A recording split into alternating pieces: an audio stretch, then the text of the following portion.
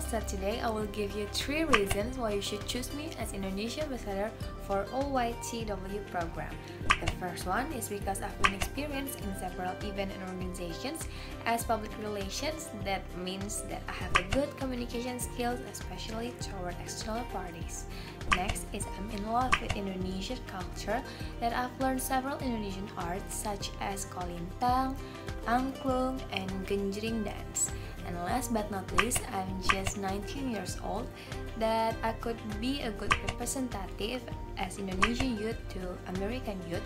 Also give the experience back to other youth in Indonesia and spread the awareness of diversity, prosperity, and partnership. Thank you.